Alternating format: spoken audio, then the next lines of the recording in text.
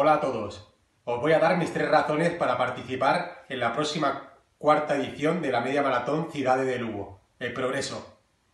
La primera, porque a través del circuito podremos conocer los puntos más emblemáticos de la ciudad, en especial la Gran Muralla Romana.